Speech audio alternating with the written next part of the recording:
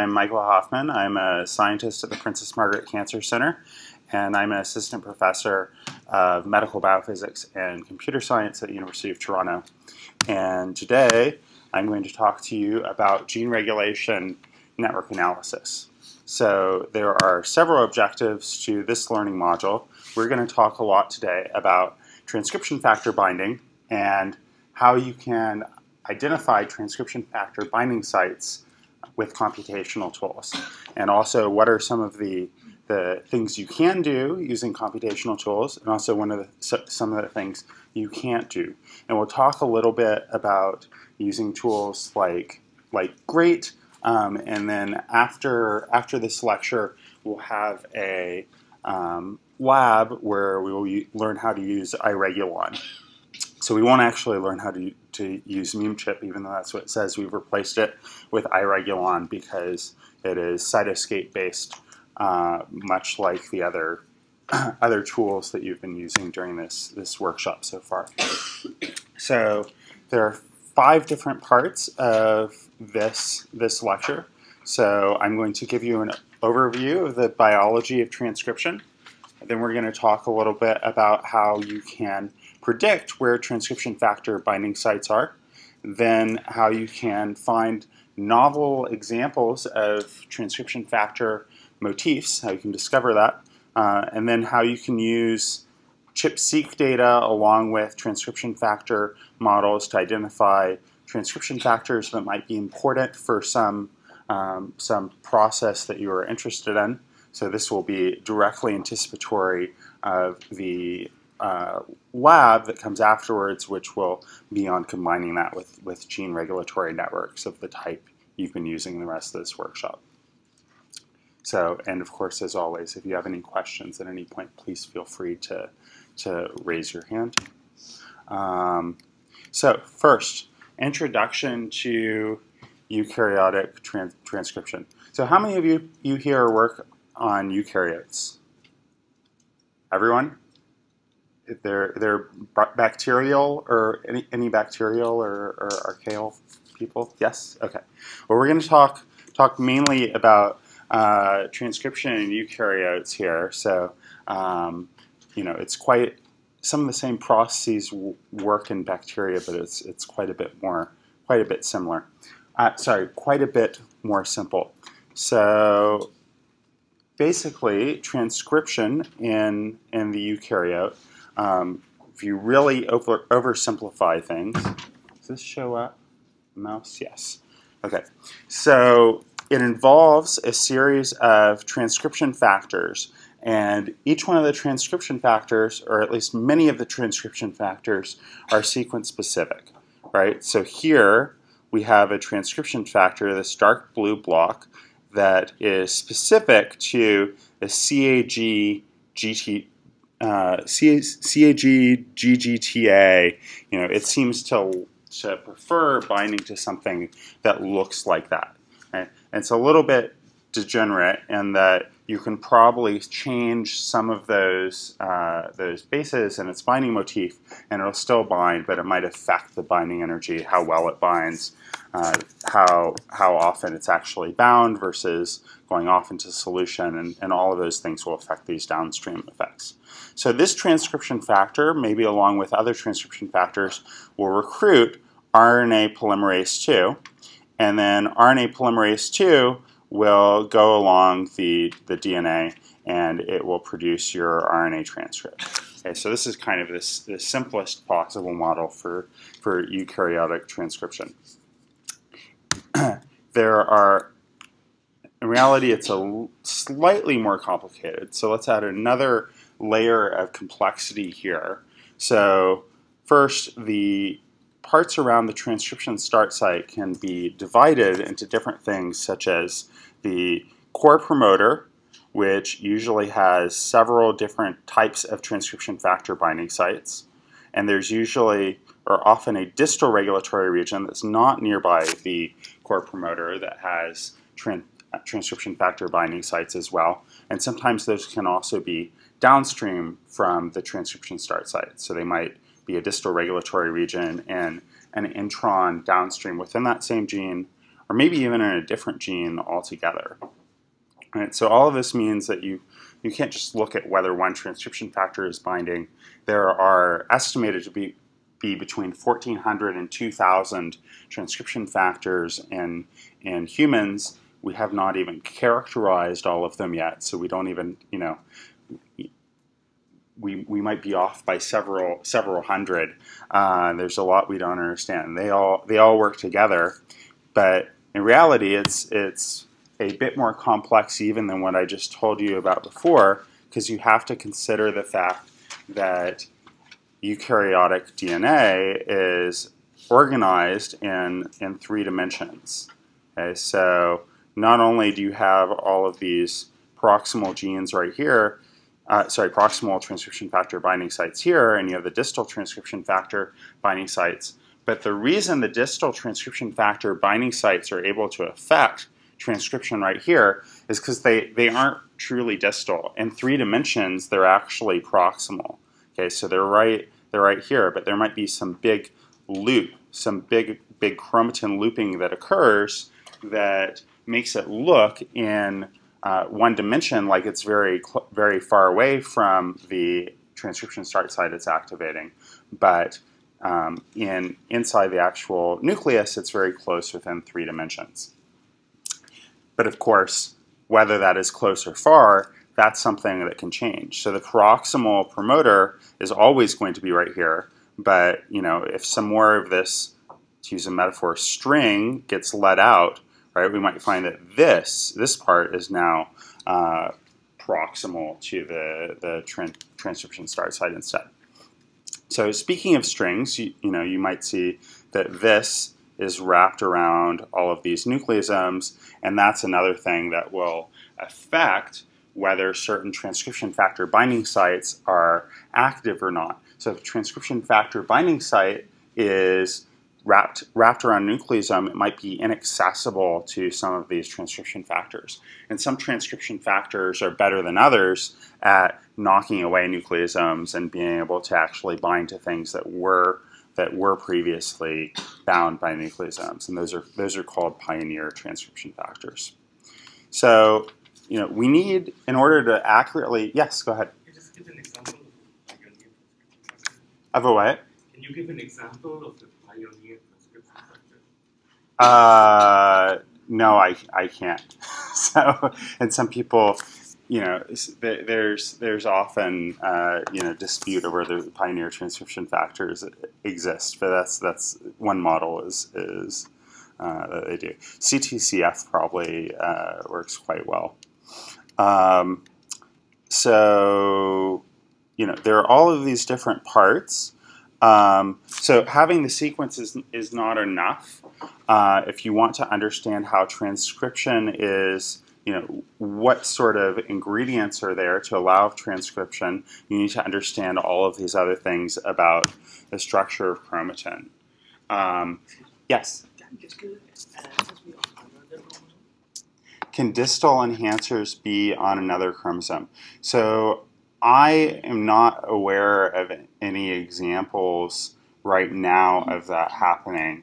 Um, you know, there's there's one model that different parts of the you know that say within the human nucleus there are these so-called chromosomal territories where you'll find you know specific parts of multiple chromosomes always tending to be together in three dimensions right so there's probably some sort of regulatory effect there if if that is in fact really happening um, but it's probably something people wouldn't refer to as an enhancer. So it's, a, it's another thing to remember about this is you know a lot of our understanding of the of 3D interactions of the genome are really uh, you know in their infancy right now. So we're just starting to get really good data on what the genome actually looks like in, in three dimensions you know, what is consistent from cell to cell, what is what, what changes and what's noisy. So there are a lot of questions about how things work in three dimensions that, that we don't know.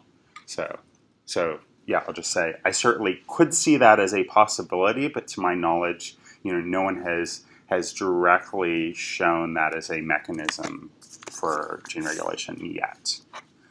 Um, so yeah, there are a lot of lot of ingredients to to um, that we can look at. So you know, one simply the RNA, right? So we're we're thinking about this as you know one part of of a fairly complicated machine, but you know, in the end, the way so I I have a computational biology lab, and I'm you know focused on understanding transcription, and I think of it as you know you have a machine, DNA sequence comes in, and there are various other sorts of inputs, maybe in the form of transcription factors, maybe in the forms of epigenetic modification, and what comes out is RNA. So sometimes there'll be RNA expressed, transcribed here, sometimes there won't. That's kind of the output of the, the transcriptional machinery. But it interacts with all of these other things like epigenetic marks, so histone modifications. Um, it, you can directly use ChIP-seq to look at where RNA polymerase II is occurring. You can look at where 5' ends of RNA are being produced using a technique called CAGE. Uh, and that can be very important in understanding how transcription actually occurs. Because RNA-seq won't actually give you a picture of where transcription start sites are, it gives you a picture of where RNA is, right? So if you just try to infer where transcription start sites are from RNA-seq alone, you can be misled because there are things like exonucleases can come and eat away 5' end of your, your RNA-seq, uh, for example. So CAGE is a technique that looks for a 5' cap to an RNA and is supposed to tell you where the transcription start sites are. So these 1,400 to 2,000 different transcription factors I mentioned, you can figure out where many of those are using, using ChIP-seq. Um, ChIP-seq relies on having really high quality antibodies against your analyte. So often you cannot figure out uh, where things are with, with ChIP-seq because we don't have the, the high quality antibodies for that. Um, so, you know, there's a few hundred transcription factors out of the 1400 to 2000 that we have really good ChIP-seq data on. Yes? Uh, yes, you mentioned an interesting question because it, sometimes if you don't have um, if you only have RNA data, PI doesn't want to do additional experiment and they just want to figure out where the transcription starting site approximately is. Uh, can you elaborate a little bit what we can do from RNA data? So, you know, RNA-seq data, people people can use it to quantify which which genes are expressed, and to a certain extent, which transcripts are are expressed. Um, so, you know, there's sufficient like the data is going to cover the you know all of the exons. Well, depending on how you do it, it'll cover up the whole gene. But you know, exons of the transcripts that are actually expressed. Um, so you might be able to figure out you know, so I think you have a good idea for good idea of which genes will be expressed. You might have a good idea of which is the first exon if you're worried about alternate alternate sites. But something that I think is not often taught is that transcription start sites in um, eukaryotes often are not sharp at one particular position. Often there's a range of transcription start sites where the first exon can begin. So it might begin you know, here it might begin 100 base pairs upstream, it might be in 50 base pairs downstream, um, and certain kinds of genes are more likely to have these these sort of broad transcription start sites. And trying to figure out where ex where exactly the TSS was, and therefore which um, which transcription factor binding sites and epigenetic factors are causing transcription is probably not going to be very easy just with RNA-seq data. So that's why, why people like CAGE data.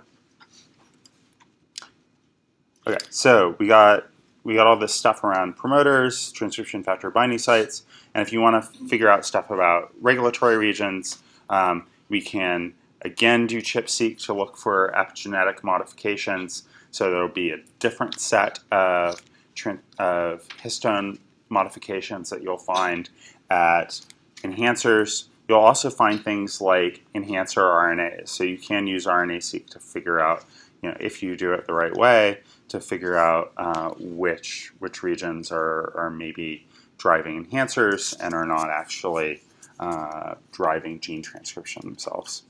You can also look at, so they're co-activators. There are a number of, I might call them transcription factors, certainly proteins that um, are known to, to interact with distal enhancers. So the best, best known of these is P300, the EP300 gene, which is you know, it's 300 kilodaltons. It's this huge scaffold that will allow lots of different transcription factors to kind of interact together in the same in the same region, right? So that's that that is often referred to as a transcriptional coactivator. So yes, Can you explain a little bit about how ChIP-seq is yes.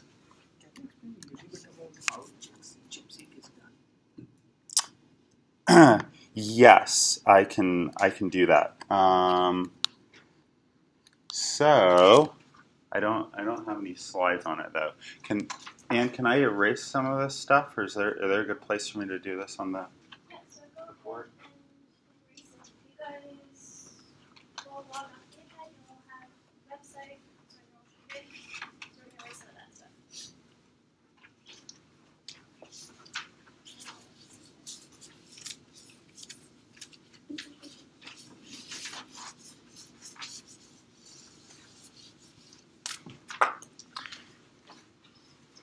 So,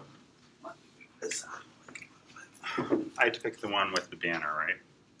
That, that uh, always makes it easier. Okay, so we'll just consider this line as a piece of double-stranded DNA. We'll make it simple. We know it's all it's all tied up in, in nucleosomes and compacted, but we'll just we'll just keep it simple. So let's say there's some protein of that we are interested in. Let's say, for example, here it's a transcription factor, right? And we want to know where are the locations of that protein.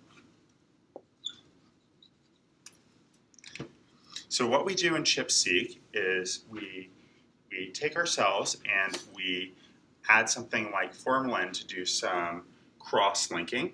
Okay, so we make the all the proteins stick very well to the DNA, right? So they're now chemically modified, so they're they're stuck in there. And then we will do what's that? We'll do sonication, or we'll do something. You can do other things like MNase digestion. So we'll chop up the DNA into into bits. All right. So you might try to get bits of DNA. They're 200, 300 base pairs in length. All right. And then we have some antibody that's specific against our um, our analyte, our protein of interest, or histone modification, or or something. All right, and maybe there's some like some off-target effect right there. Maybe it doesn't work so well, so it doesn't bind to this one. And then you do an immunoprecipitation pull down. So that's the you know CHIP means chromatin immunoprecipitation followed by sequencing.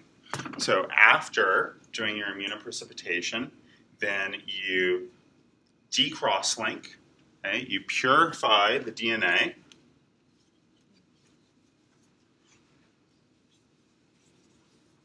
okay, so you're left with these pieces of, of DNA, and then you sequence. So we'll sequence, we'll get these ends, we'll get these ends, we'll get this. This is a very strange thing.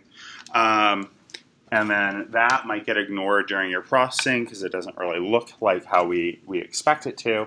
Um, and the other stuff, you'll have done this on probably with traditional ChIP-seq protocols, um, hundreds of thousands to millions to tens of millions of cells. So every, every place that there's actually a consistent transcription factor or mark, you'll get kind of a pileup of reads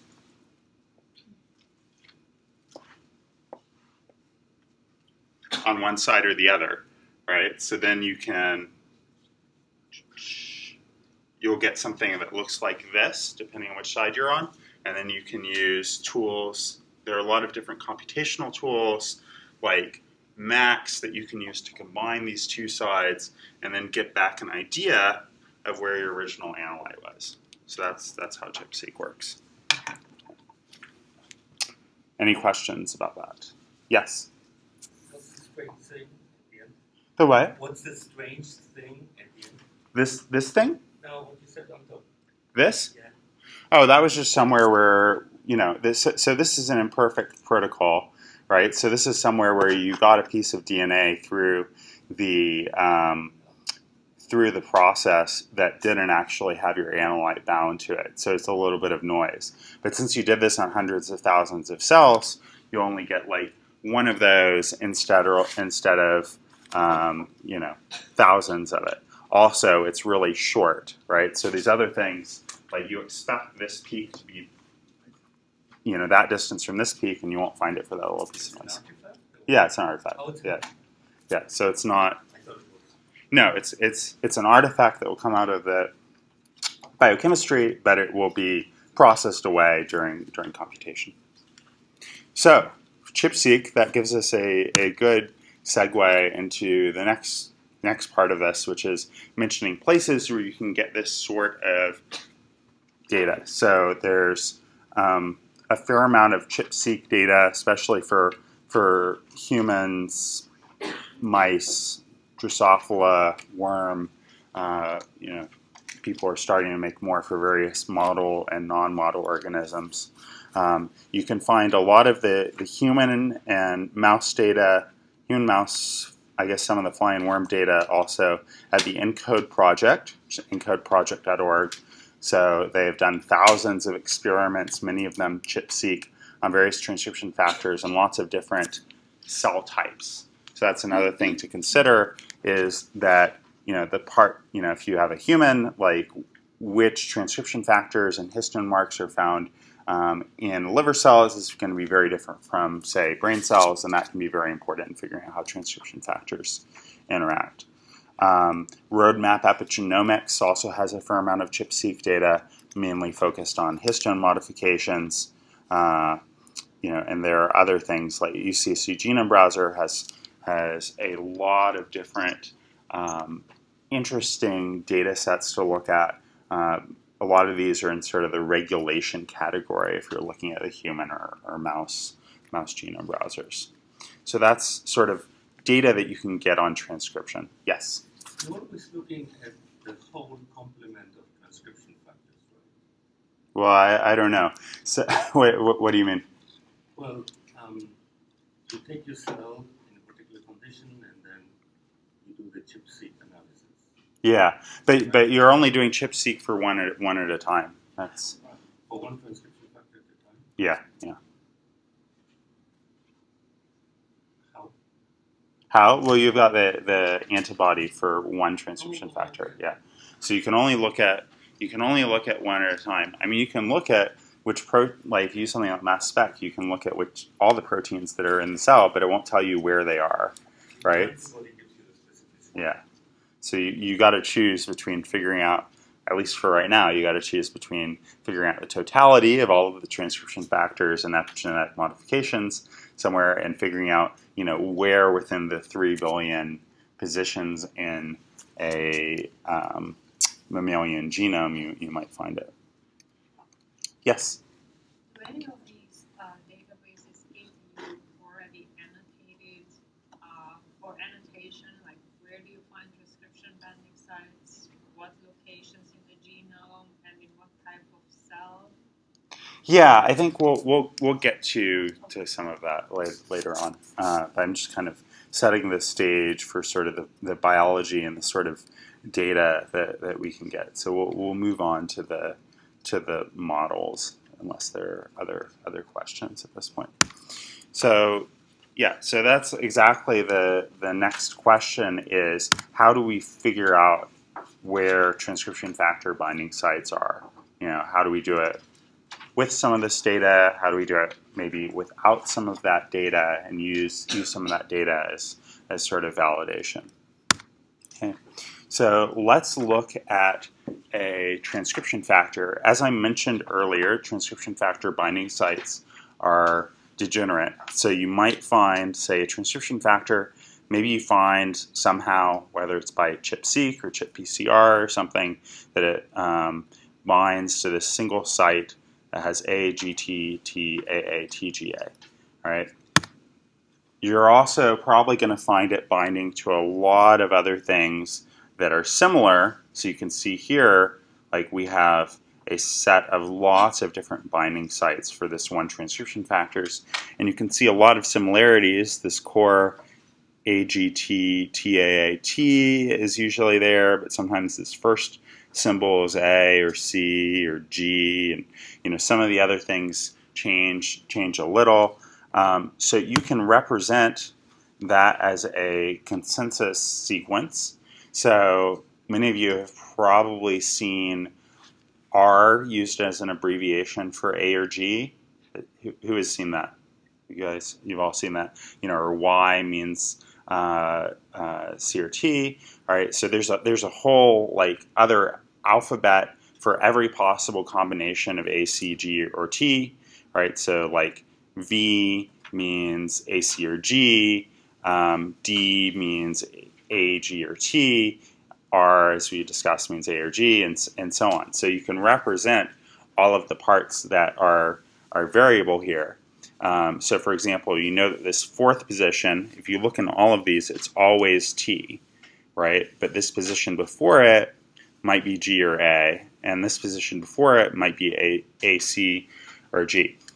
But there's something that we're, we're missing here. So this, this is not, you know, this is a very compact representation, but it eliminates some of the information we have, which is that when you have these degenerate positions, the um, frequency is not distributed identically, right? So if you look at this first position and count up how often you see different symbols, you see A 14 times and C 3 and G 4 times, right? So it's not really a good model to just say this is V, meaning A, C, or G, right? So you want something a little more complex um, and so people go to um, this sort of sequence logo representation where you will have a bunch of columns, one for each position within the, the motif, and in each column you'll see all four symbols A, C, G, and T, where the height indicates how often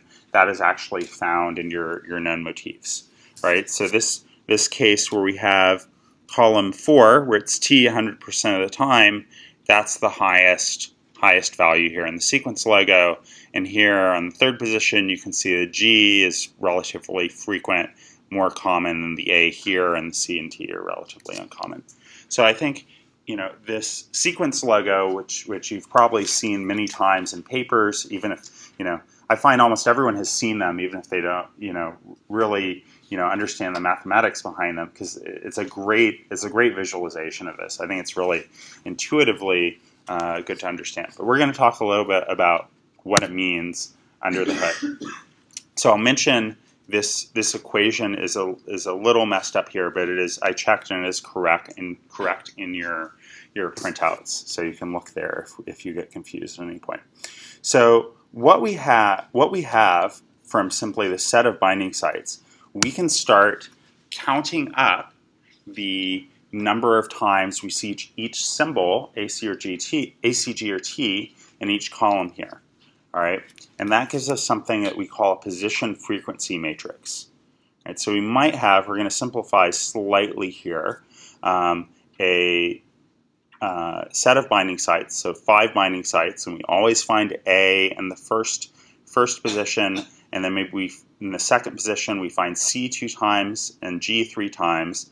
And the third position is kind of a mix up of various things. The fourth position is C four times, T one time, and so on. And so you can represent the number of times you see each, each symbol in each position as, as this matrix. Right. Starting from that observation, we can then convert the matrix into something that is that is a better model for actually searching things across across the genome. So the first thing that we're going to do is we are going to take this this frequency. So we'll call this f b comma i. Okay, so f means frequency, b means base, a c g or t, and i means the column. Okay, so So this this right here is FC3 because it's third position for symbol C. All right, so we have that value. All right, and, and one thing that we can do is we can um, divide by the overall frequency of that particular base in the genome. Because okay, we want to figure out, we want to convert this from something that describes how often we've found this, this particular base in a set of input sequences to something that tells us how surprised we are to see this base in a genome. So essentially we need a, we need a background model. And if you have, say, a CG-rich motif and you're looking for it in a CG-rich genome, like that, that's not going to be very, very surprising. If it, you're looking for it in a genome that is very AT-rich, right, that is going to be a little more surprising. So by dividing by the uh, background frequency of that base, and the simplest way to do it is just to take the the number uh, the number of times you see that base in the genome, divide it by the number of bases in the genome overall, you can kind of get an estimate of how surprised you are as well. And then one other thing you can do is you can add this this SN. So that will that is essentially a way of weighting how how many observations you have. Okay, so this SN is something called a pseudo count, and often we'll just add one to everything, right? So, so, so basically, we only have five observations. We don't want to set up a model that has a zero right here and says this can never be t based on only five observations, right? So we'll just add one to everything. So instead, this will be six, one, one, one, right? And this, this, this change from the pseudo count is going to scale based on how many observations you have, right? So if your position frequency matrix had 100 observations in it, adding that one pseudo count isn't going to change things very much. So essentially kind of flattens out the distribution a little. And then the final thing that you do is you take the log of, of all of this. Okay, and that makes the arithmetic a lot easier. It's a lot, it's a lot faster you know, I mean, you probably think your computers are pretty fast at, at, arithmetic in general. Well, they are actually a lot faster at adding than they are at multiplying, just like you would be if you if you know you were to do things, um, and especially then dividing if you were to do things out longhand with big long strings of numbers. Um, and they're also more reliable that way. Okay, so sometimes people use these tools and they'll get p-values of like 10 to the minus minus 2,000 or something, which is a number that you can't even usually represent um, in the, the sorts of numeric systems you usually use. And people say, how is this even possible? Well, you, if you do it all in log space, it is, it is quite easily possible.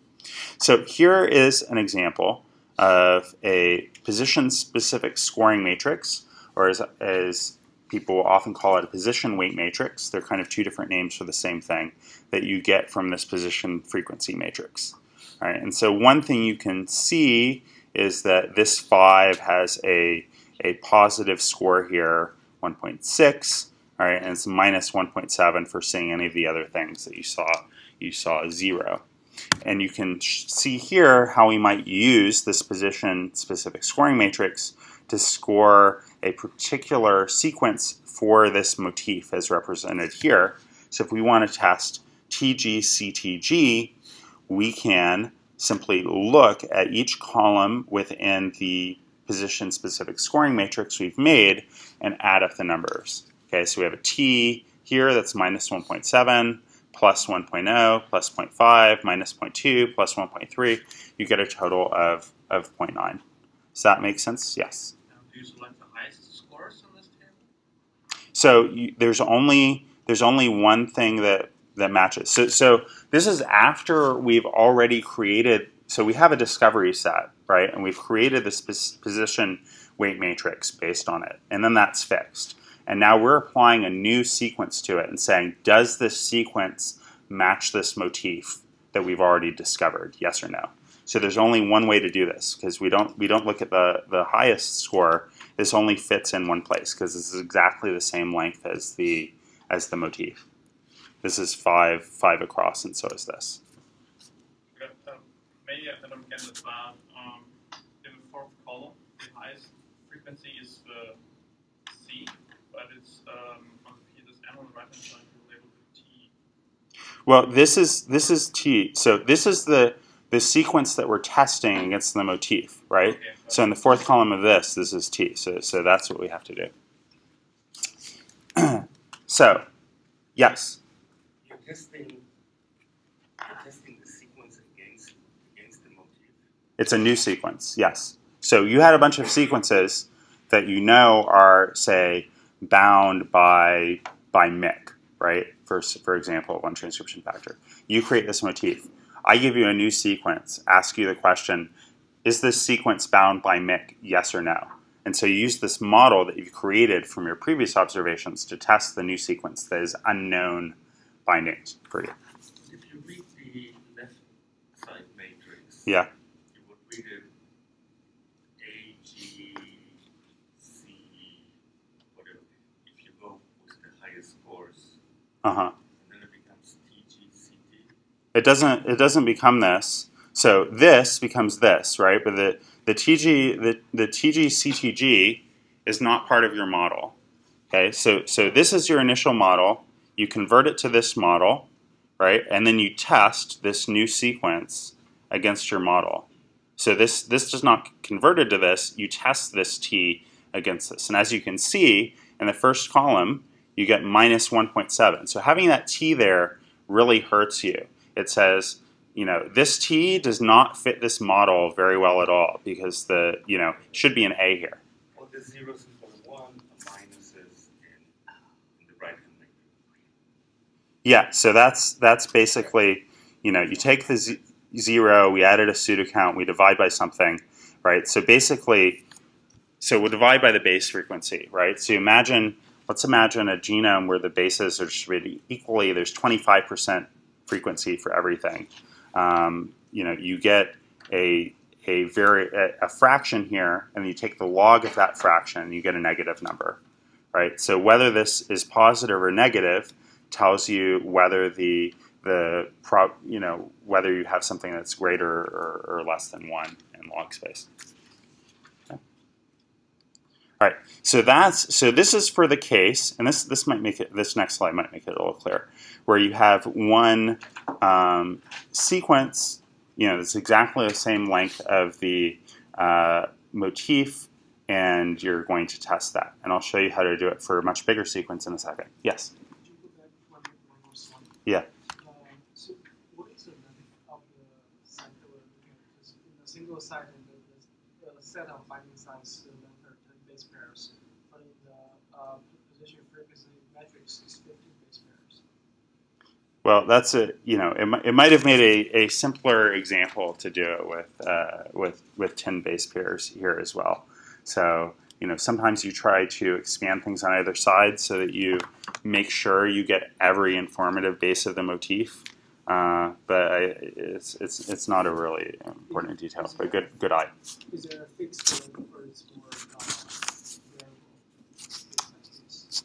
That is an interesting question that I think we will we will address a little more later in the, the lecture. And if it's uh, not answered for you, we can we can come back to it. All right. Other questions on on this? Okay. So we had a we had there a sequence that was the exact same length of as the motif. Let's look at something more realistic where we are going to have a big long sequence and we want to scan it for this motif instead. Right. Basically, what you can do is you can do a sliding window approach. So if our motif, here's a SP1 motif from the JASPAR database. Right. So this is 10 columns wide. Right. And what we do is we take a um, 10, 10 base pair wide window and go along the sequence and we score each 10, 10 base pair window just like I showed you for the five, five base pair motif in the previous column. Okay, so you can see here, for example, this third column has a really big value for G, right, and you can see here that it's a really high score, 2.1222 if you get a G in the first in the third column. You know, similar if you get it in the fourth column and so on. And you can sum up all of this for this little window and you get 13.4. Okay, so that's that's your your absolute score for this. That's not you don't want to necessarily consider that in a vacuum for this um, for you know this particular motif because again a lot of this is about how surprised you are to see certain things right? So different motifs will have different possible maximum and minimum scores. And so for example here the maximum score would be from something like G G G G C G G G G T right? And you what you want to do is you want to see how does this absolute raw score fit in with the max score, which here would be 15.2 for the best possible sequence, and the minimum score, which would be minus 10.3 for the worst possible sequence to that motif. All right, so subtract the absolute score from the minimum score, divide it by, by the range, all right, and you get some fraction. So you get a relative score of 0.93 here, and the relative score will vary between 0 and 1.0, right, or 0 and 100%, same, same thing. Um, and then, once you have this relative score, you can compare it against every other relative score that you calculate for every 10 base pair window in the genome. Right? So you can plot what is essentially a histogram of all of those scores, right? And you'll find that you know the mode is about 0.2 or something, um, and then you know your your score right here um, this score of 0.93 doesn't really correspond to the axis right here. You know, starts looking starts looking pretty good, right? And then you can even turn that into an empirical p-value just by looking at how likely any point in the genome is to be better than this this relative score than than, than worse than. Yes. The last thing you said about this uh, lower right, where you said you take every 10 base pairs, Yeah. You do you do a sliding window approach. So you, so you start here and then you move over one and then do this 10 base pairs. And then you move over one and do this 10 base pairs. so that tells you whether you got that binds SP1 by chance. But you haven't SP1 binding set by chance. Well, I don't know whether I mean, you know, essentially, you know, it's, it's hard to it's hard to define exactly what is you know by chance and what, what isn't. You know, essentially, this is just looking at you know what your score is, right, and and essentially, you know, how often do you find a score that is that high or higher, right? So we don't actually know for this. Um, you know whether these are real binding sites or not. We just know how where it fits in the score distribution, and that's what the, the p-value is is based entirely on on that. Um, okay, so um, you know things like this SP1 this SP1 matrix. I mentioned it's from the JASPAR JASPAR database.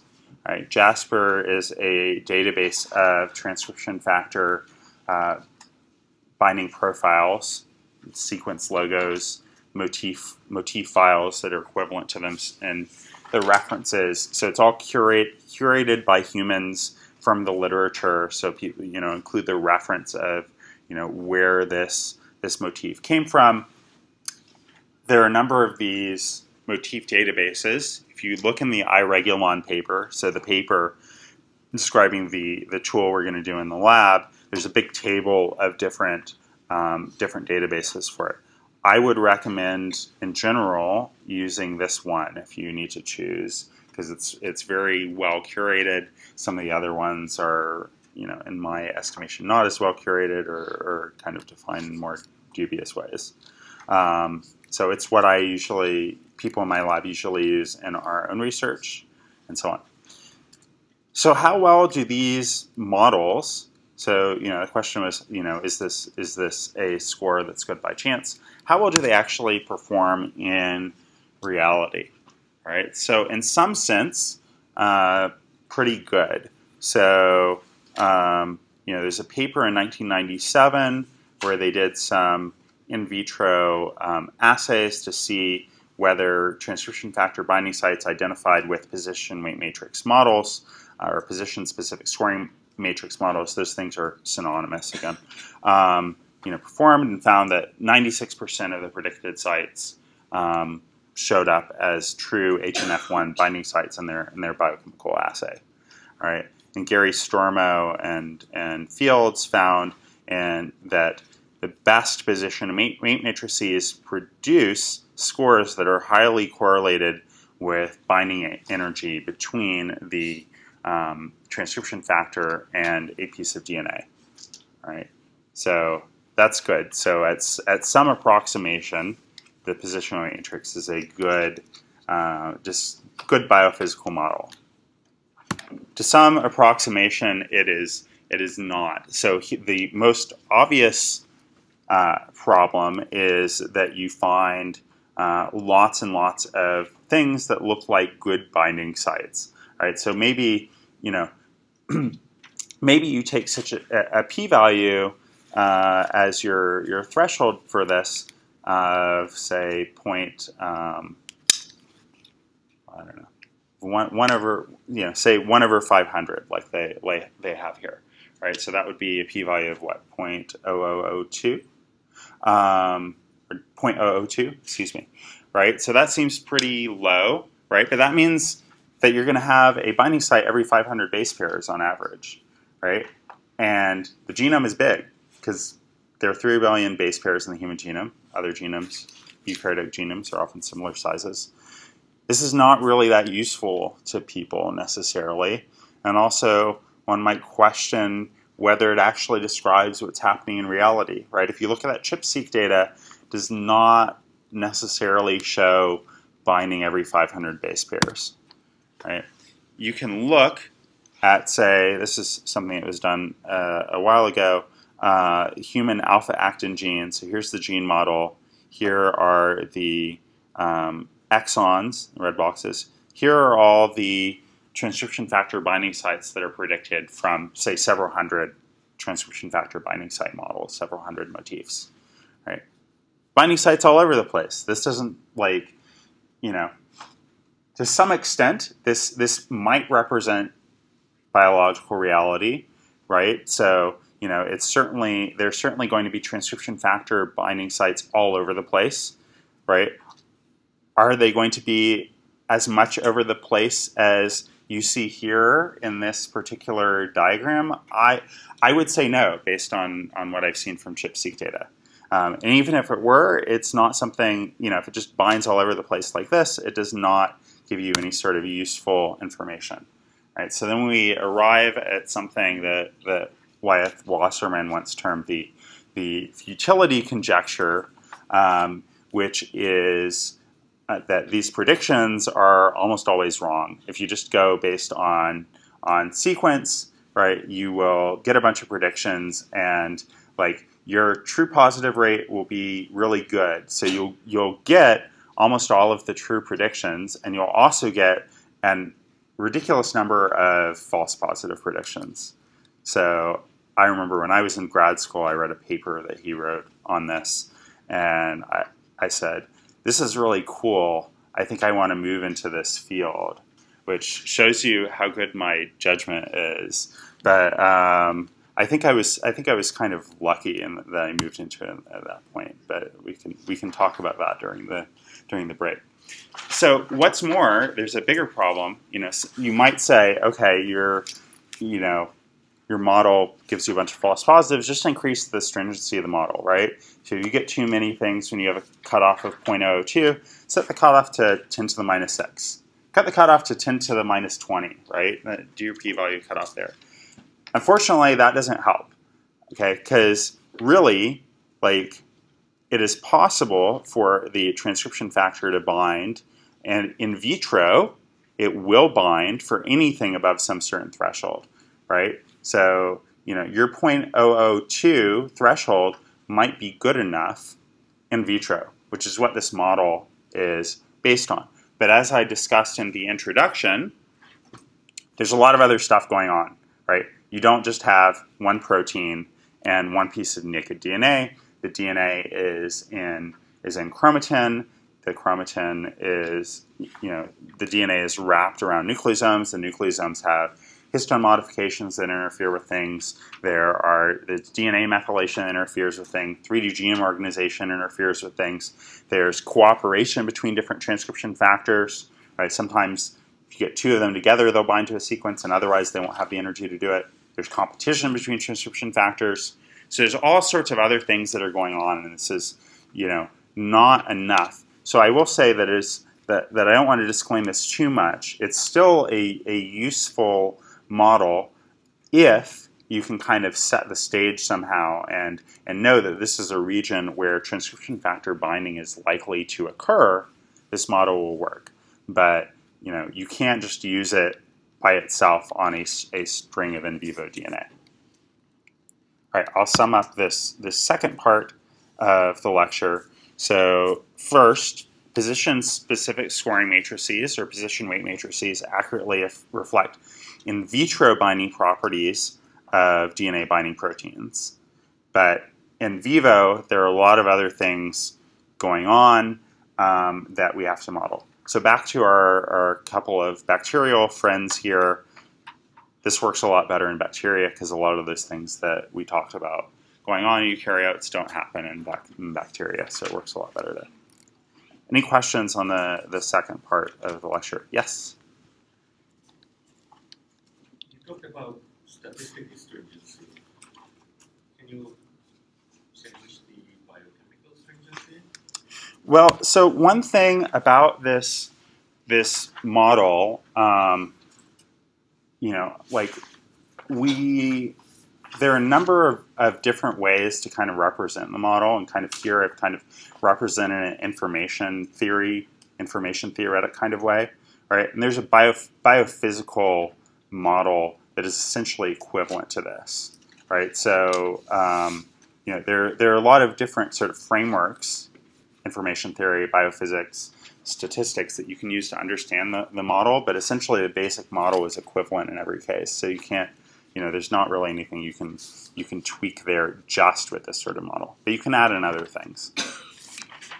Oh, does that mean it's not that you're picking up false positives from biochemistry? Mm-mm, no, it's yeah, it's because there are a lot of um, entities within like this is this is a model of the interaction between one entity protein and another entity a DNA double helix, right?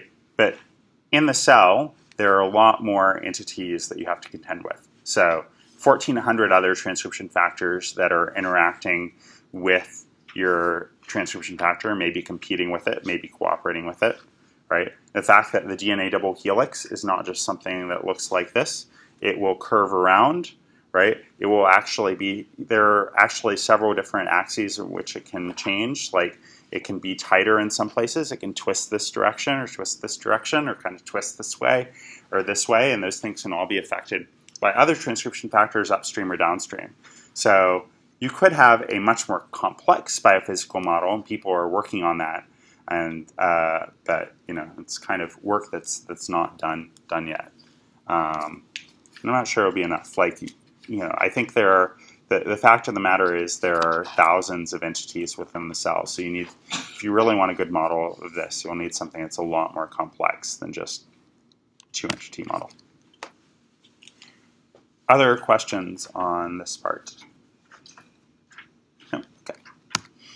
So, all right, now, now that I've told you how you can construct a model of transcription factor binding sites, um, and how in practice that doesn't work, I'm going to tell you how to use it further. This model that I just told you didn't work. But I think you might say, why are you doing this if this model doesn't work? So here I'll, I'll reiterate the point that the model, in the right conditions, it works really well. Right? It's just you need to have some sort of prior knowledge about about a region, some prior knowledge where you know that that region might be important for transcription in order for this to work.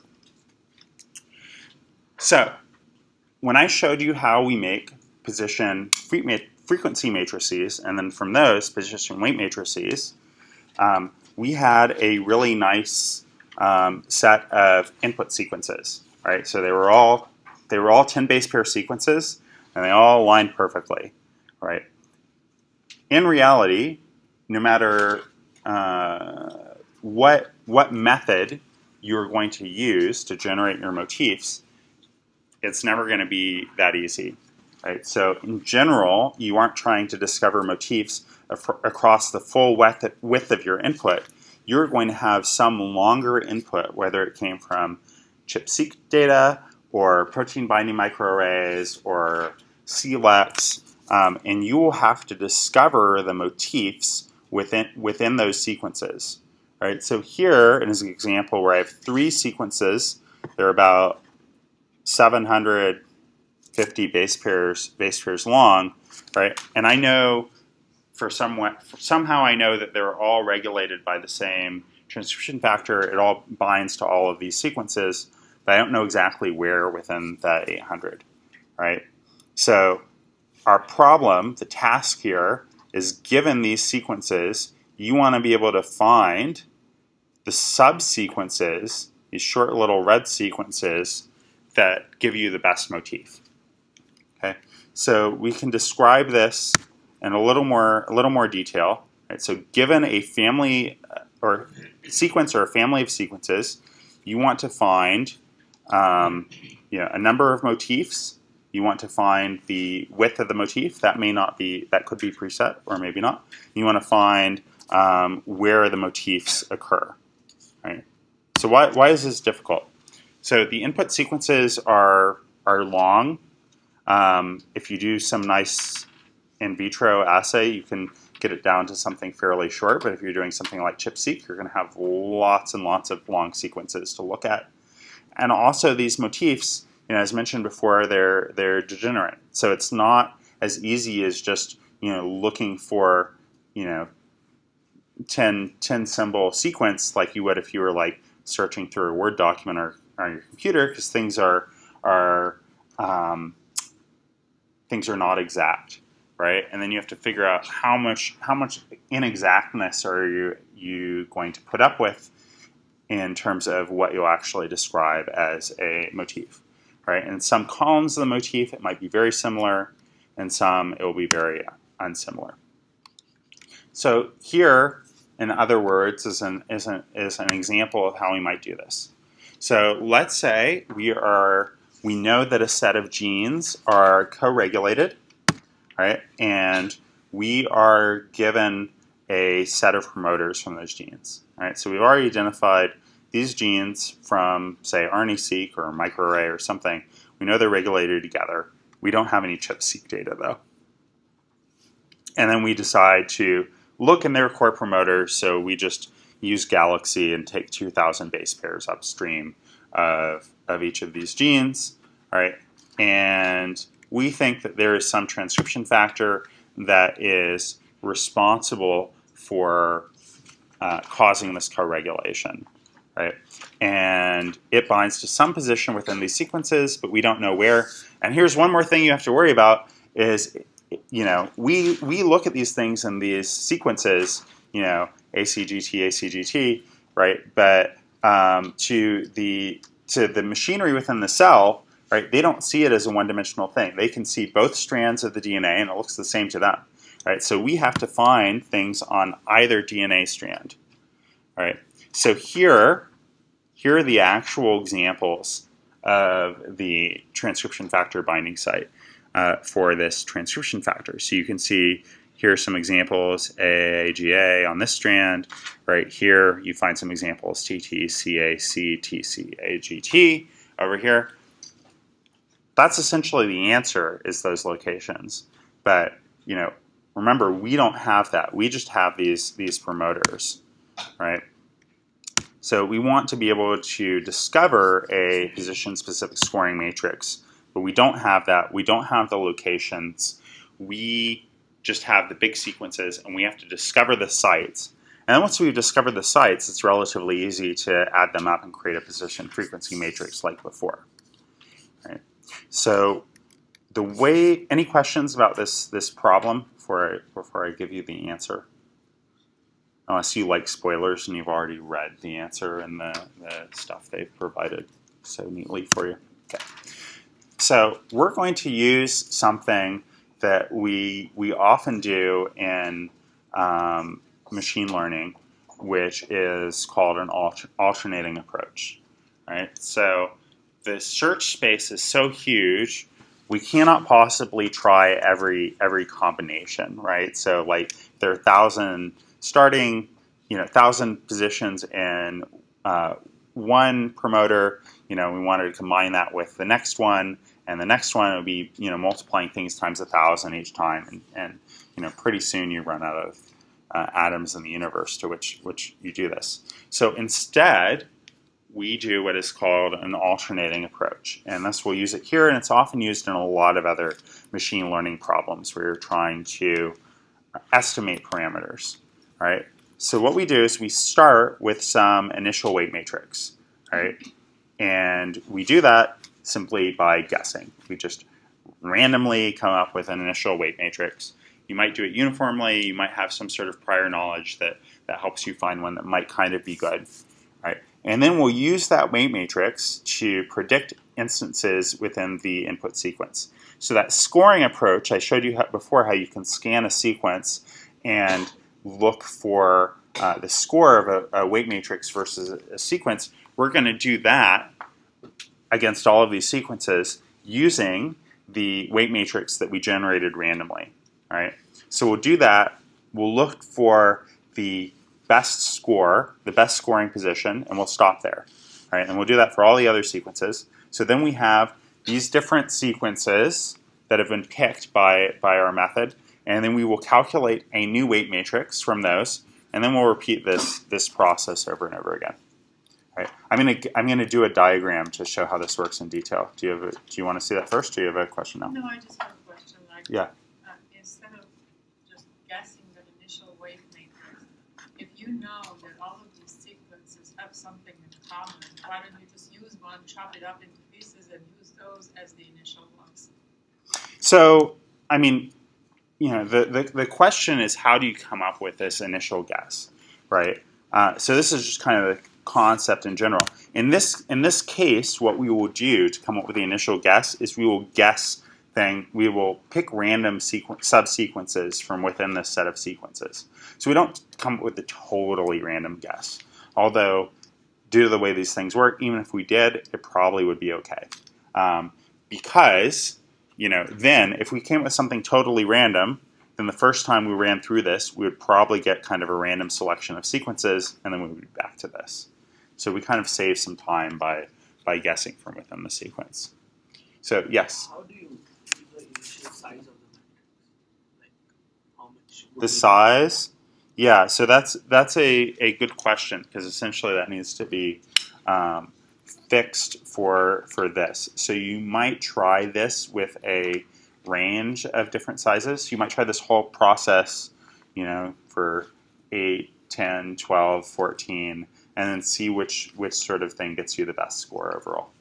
Usually the transcription factor binding sites are, do they have a specified band of lengths or it could be anything between one to 100 base pairs? Um, well, you know, I know the the shortest example I've seen is, is essentially two, um, and the longest example is probably like you know twenty or or or thirty.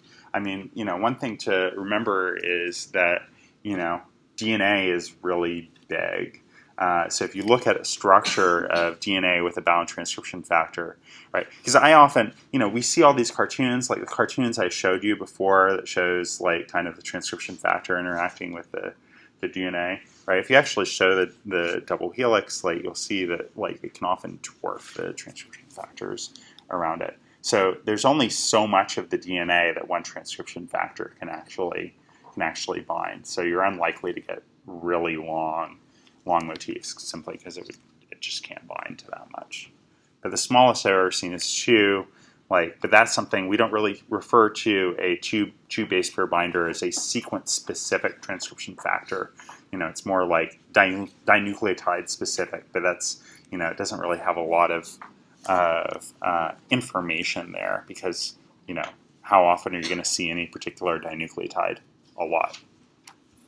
Yes. So does it mean if if you get let's say from ChIP-seq, which means you need a specific antibody like a known transition factor, Yeah. then the sequence somehow will be expected to be having a common pattern and it's gonna, it's gonna give you the better the highest score for the prediction So compared with INI-seq on anything like. Yeah. So this is an approach that you could use for, um, you know, any sort. Like you could use this for chip ChIP-seq data. The particular example I'm giving giving here, you know, we're we're just we're just taking RNA-seq data essentially. But you could use the same, and in fact, people do use the same approach for ChIP-seq data. Now, this is something like MEME. Okay, and usually for ChIP-seq data, they'll use something called MEME-ChIP, which is kind of optimized for ChIP-seq data in particular ways. Right, so uh, there are a lot of things I don't have time to go into here, um, but you can say read the MEME-ChIP paper.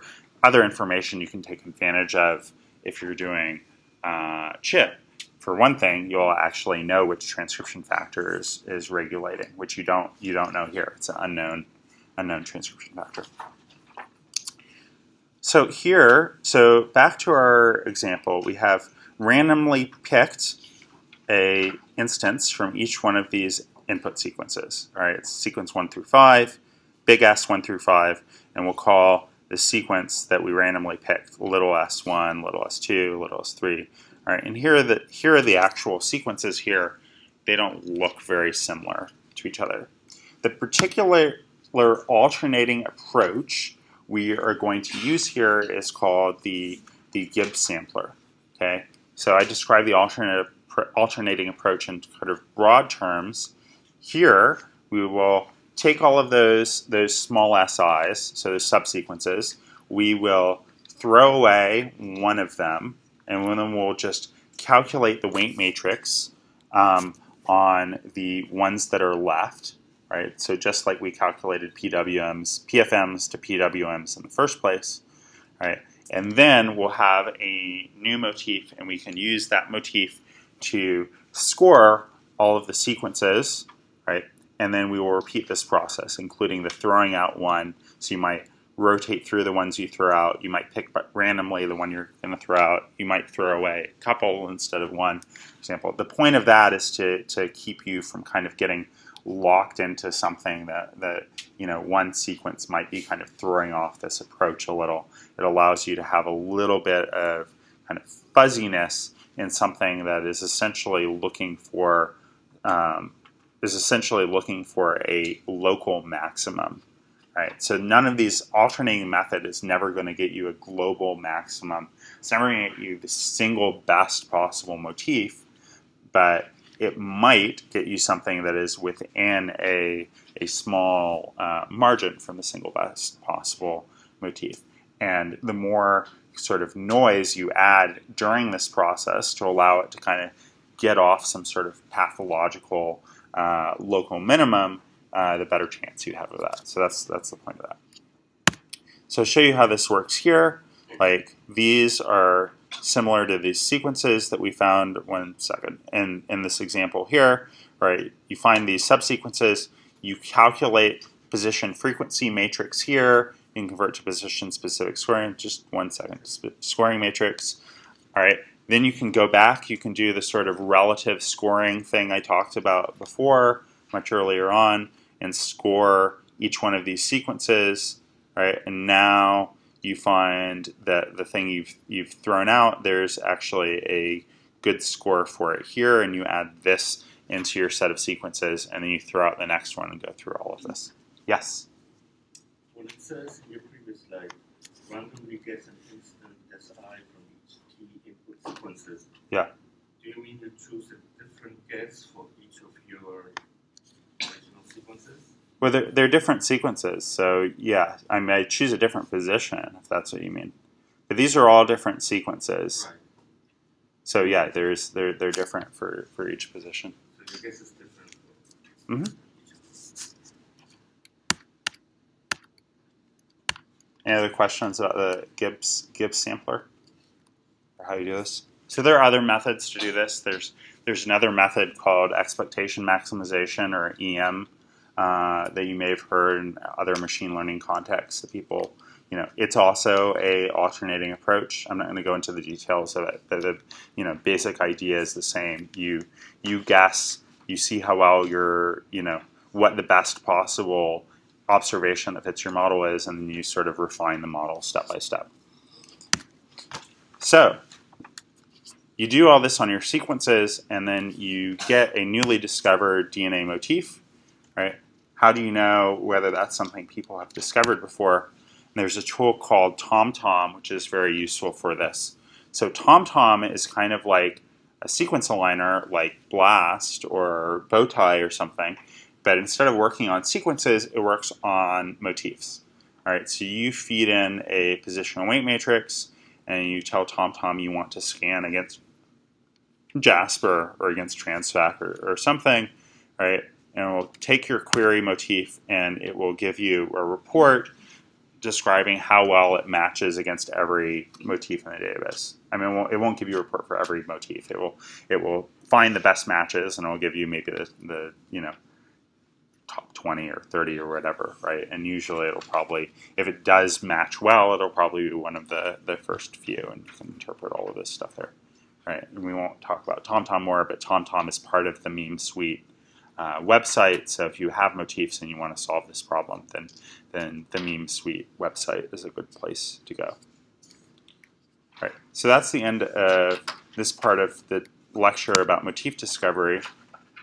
Any other questions on this? Okay, so let's let's move on. Uh, you know, we have so you know we have a discovered motif. Let's get back to the question of how do we know, you know, that a particular motif we're interested in or one of many motifs from a database is interesting for our particular set of genes. So most often set that people use is a set of co-regulated genes. They'll have something like a RNA-seq experiment or, or a microarray, and they're able to identify co-regulated, co-expressed genes. And the co-expression is really the observation. Co-regulation is sort of a hypothesis that you're testing. Right? So you have some set of genes that you know are co-expressed, some negative controls that don't necessarily show a co-expression pattern. Right? And you want to test against some motif. Right? Since we use computers, we can test against all of the motifs. And we have to do multiple testing testing correction. But what, what, what do we do? So, you know, we you know, this might be an ideal model of, of um, co-regulation, right, where you have this motif, and let's say you find examples for this motif here, twice in front of this gene, twice in front of this gene, and zero times in your negative controls. Boom, great, great hypothesis there. Uh, you know, sort of validated electronically. Now you should go back to the lab and and kind of you know validate experimentally what you what, what you've learned learned here. How do you actually find things like this in in practice? So there are a series of methods that are known as transcription factor binding site um, enrichment finding methods, and very similar to the gene set enrichment, the GO term enrichment you guys did earlier with gProfiler. Right, this is looking for overrepresentation, not of some GO term, but of a of motifs that score well for some transcription factor. Right? So there are two, two ways you can do this. So one is just like the gene ontology analysis you guys have done. You can associate each gene with whether the transcription factor binding site, whether there's a good transcription factor binding site score for a motif that you're interested in on that gene or not. Okay, so in any case, it will be either the gene will be um, will have a good TF binding site upstream, or or it won't. And you can do very similar sorts of statistical tests as you did with gProfiler, just with this information instead of GoTerm enrichment, and look at how often do you see this in foreground versus background. But it's not exactly like GoTerm enrichment because you can also have multiple transcription factor binding sites per gene. And that can, that can often be a really good indication that a transcription factor um, is actually biologically relevant at a particular position, even if you don't have um, extra stuff like, you know, DNase-seq data or you know ATAC-seq data telling you that some region is is actually open chromatin. You know, the fact that you can find a really big cluster of, of the same uh, transcription factor binding site can be uh, really indicative that it matters in a certain place. You know, so you might find in your foreground cases it occurs a lot more often than in the background cases. Right, so these are essentially two different ways of looking for enrichment. Right, so uh, there are two different statistical tests that are used. The binomial test will look at the number of occurrences, and Fisher's exact test will look at the, the number number of genes. So if you use a tool like oPOSSUM, uh, and you can there I think there are links in the wiki, but you can search search for it. Certainly, oPOSSUM is a, a website in which case you can put in a set of co-expressed genes. So you just put in the symbols like say I have BRCA1 and GATA2 and CHEK2, and then it will do sequence retrieval from Ensembl. It will look for regions of phylogenetic footprints, uh, so regions where the um, the gene, so the sequence is conserved between multiple species. Uh, that's the main thing oPOSSUM does, which um, you know you may or may not want to do. Often people are not these days. Detect transcription factor binding sites, tell you how significant they are, and then you know maybe you have a hypothesis for transcription factor that matters. Yes. Does it publish the paper? Does it publish the paper too? No, but um, you know, yeah, we should we should offer Anne a, uh, a workshop on doing kind of re- reproducible science with like uh, notebooks and stuff. And You guys would like to put in a proposal for that? And I will send you the proposal outline document and you can come back to me. Did you develop oPOSSUM? no, so Wyeth Wasserman uh, and his group developed o- oPOSSUM. So, um, so yeah, so so you know, let's look at an example of how you use oPOSSUM. And oPOSSUM is just one one tool. There are many other tools that work kind of a similar way. We'll talk about iRegulon, which which kind of you know has some similarities here, right? So let's say we have a set of genes that we know are muscle specific, and a set of genes that we we know are liver specific, right? So we feed in a bunch of gene IDs. The, these are not the gene IDs. Okay, so we, we fed in um, a bunch of different gene IDs, and it automatically goes and finds the sequence that's upstream of, of that gene, and then looks for transcription factor binding sites, and says, okay, so this SRF transcription factor occurs really often upstream, right? So does MEF2 and MIB and MIF and so on, right? Whereas these liver-specific genes, you often find, say, HNF, which is actually a, a known um, hepatocellular uh, transcription factor, so it's known to be important for, for liver. So this is something that previous oPOSSUM paper and the red arrows indicate uh, that they've experimentally validated that these are these are important. And you can see the different kinds of scores, whether you do it the binomial test in terms of of um, numbers of um, numbers of genes, sorry, numbers of, of uh, occurrences, or the Fisher's test, which is the number of genes. Did you have a question?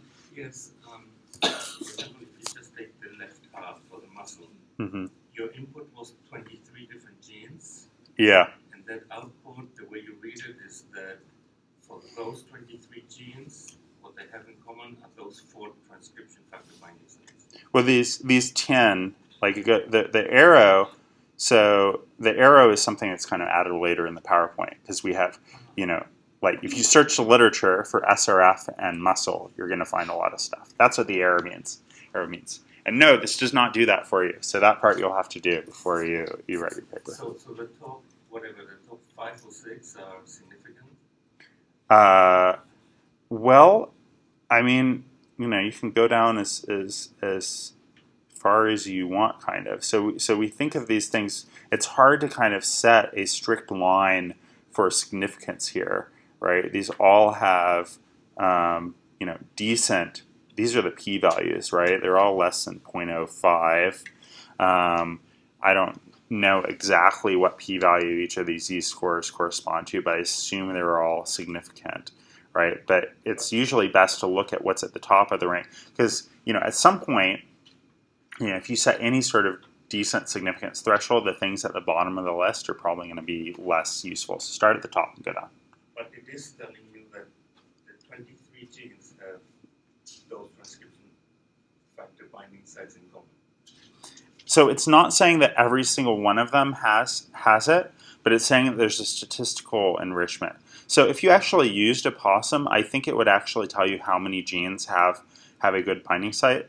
Um, but you know that again is kind of a threshold matter because um, depending on how low you set your threshold for a binding site, you can say any gene has any any binding site for things. So it all kind of combines. you It. say these, these transcription factor binding sites are rich in my population of genes that I But I, I think you know with a lot of these genome-wide analysis tools, it's a much better approach to kind of look at the things that are ranked best and kind of go down the list rather than say this is my significance cutoff um, because you know you'll often find a lot of stuff that may, maybe is meets your significance cutoff but is way less important than the 20 things above it on the list. Yes, you have a question. Uh, I'm the system analyzer for the right information. So that just means the, where it says it only analyzes a certain number of inputs, is that something similar where it's just removing certain sequences?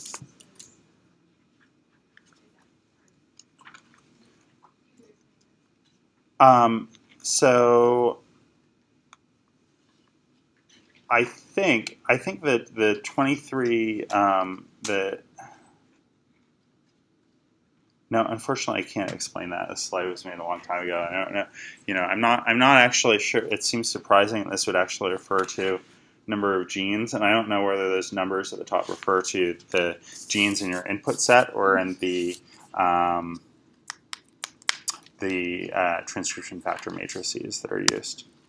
But if you want to use this, you can look at, um, you can go to the oPOSSUM, oPOSSUM website, and they have tools that you can paste in your gene list, and it'll do a lot of this stuff for you.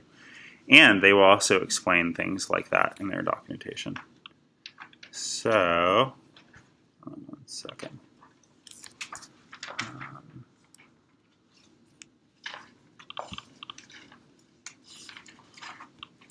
All right.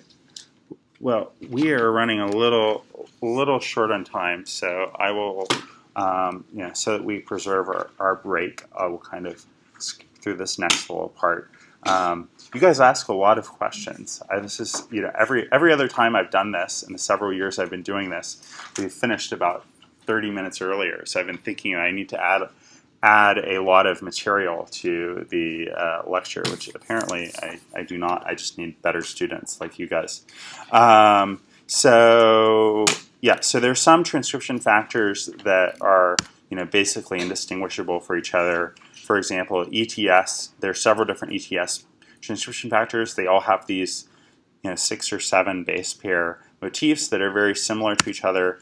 Um, how do you find you know, if you find yourself in this problem and you're looking at ETS transcription factors or say GATA transcription factors another good example of this, you know, there is software that you can use to prioritize this and it's called TopGene, which I won't I won't go to any further. So let me let me go into the, the final step here, which is, you know, how do you, you know, how do you bring all of this together?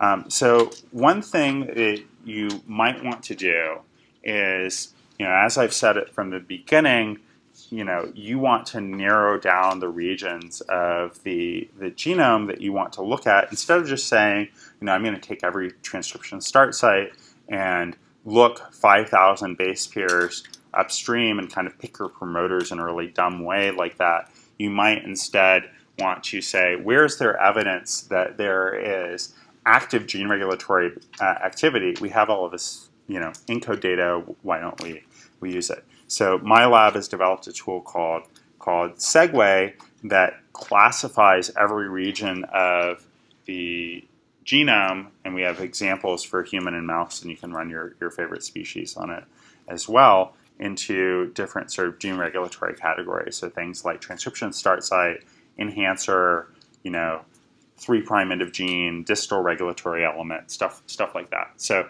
you can use evidence from things like histone modification data and, and uh, DNA hypersensitivity data and feed it into Segway. It will produce a um, an integrative um, analysis of of all of these different data sets and give you out one answer for every base pair in the genome, which often makes things a lot easier.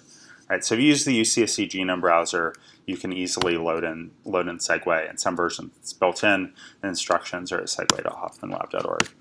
Um, there's another interesting tool called called GREAT. If you have a set of gene regions, let's just let's wait till the end because we're we're going to run out of time otherwise.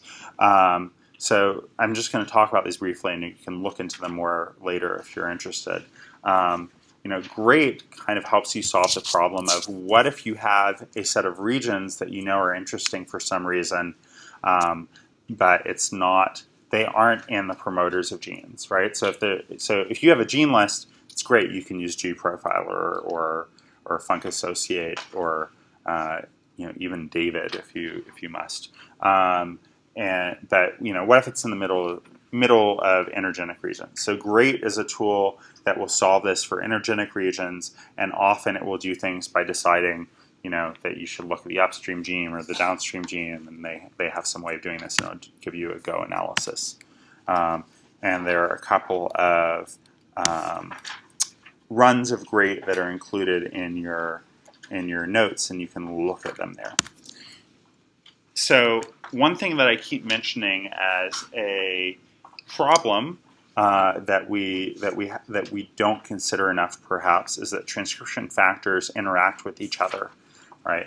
Often you'll find spaced transcription factor binding sites. So you'll find, you know, transcription factor X here, and then transcription factor Y just downstream. And there's a tool called SpaMo, uh, so for spaced motif that you can use to analyze those those sorts of things um, if you're in that particular space. There are a lot of different challenges in making better transcription factor um, binding site models. One is, as I mentioned, we have data on hundreds of transcription factors. There are, you know, more than a thousand, maybe two thousand. Like we need to get data on all of the transcription factors if we're going to have a hope of understanding all of this. I'm hopeful that is that is coming very soon. People people told me it was coming very soon, like four years ago. Uh, so I'm hoping that means that all of these different groups that told me that are going to publish a paper like this year, and then and then I will have tons of fun data to play with. But who knows? They, they don't they don't tell me what's going on. Um, you know, we want to we need to understand how genetic variation affects transcription factor binding sites, right? So if you get some uh, you know, you, you, have a patient who has some sort of cancer and some uh, distal regulatory region is affected, we want to be able to predict what sort of change in uh, the network of transcription factor binding, what, what will change in the gene regulatory network. We need a lot of work there. You know, another thing is these position weight matrices. Uh, they're kind of a crude model, right? And there's a lot of information. Like you know, it assumes that each of the columns of the positional matrix are independent from each other. When reality, they don't. It doesn't work like that, right? Like often, you're you're much more likely to have you know CT than you are to have CA, and it's not the same thing as multiplying the probability of C times the probability of A. And there are various models to consider that, um, and none have really kind of attained widespread use yet. But I think that's more likely to happen in the next two years or so there's a lot of lot of complexity to to understand, um, and that's what a lot of us are, are working on understanding.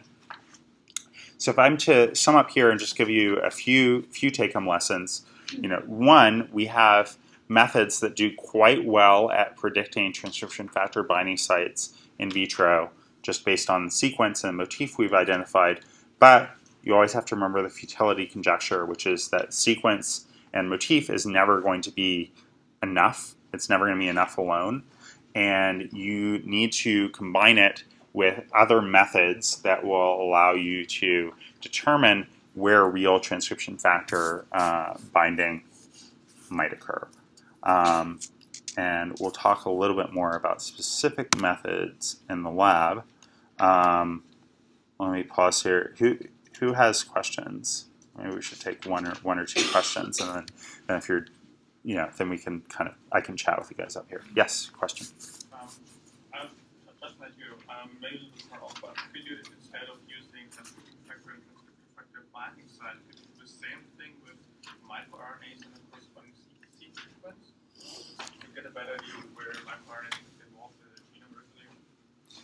Yeah, uh, you you can do stuff like that. Um, you know, since most, um, I don't know how much people have used, say, position matrix models for microRNAs. If that's what you're asking about, I mean, I think people usually try something a little simpler because they assume that the microRNA is, you know, mainly going to be base base pairing with the um, uh, other RNA plus or minus some degree of uh, degeneracy. But um, you know, so that's an interesting area. You know, along other areas of, of translational control, there are groups of people, a, a sort of smaller community of people that is working on what some have termed the epi, epitranscriptome, right? So trying to analyze, you know, all the stuff I talked about here was DNA binding proteins. Well, there are people who study RNA binding protein, proteins.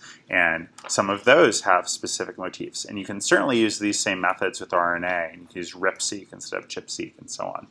Uh, but um, yeah, it's an interesting area for the future. I think I'll stick to transcription myself because it's hard enough. Other, yes, question? Yesterday we were discussing like co-expressed genes can have similar functions, but co-expressed genes can be because of having the similar sort of transcription factors. Then they might be entirely can have entirely different functions. Yeah, that's that's true. So, I mean, you know, you have co-expressed genes. There can be a lot of different reasons for co-expression, and just one is the transcription. You know, having the same transcription factor binding them all, but they they might not. Um, you know, co-express simple co-expression doesn't necessarily mean that there's a shared shared function.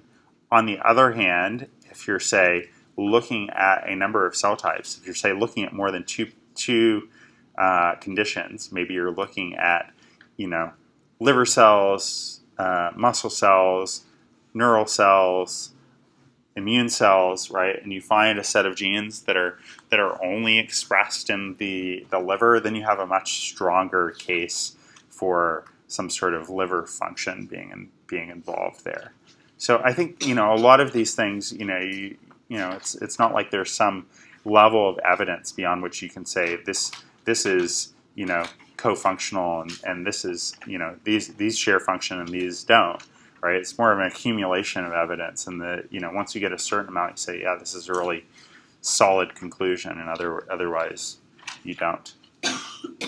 Should, is there one more? Did you still have a question, or did I answer it? Um, I just wanted to ask about Segway, but I actually looked at your website, so I think I have the answer. Okay. All right. Yes. So Segway is there. It's free. You can you can use the data sets or run it yourself. Okay. So so to not cut into your coffee break and or networking session, I will stop here.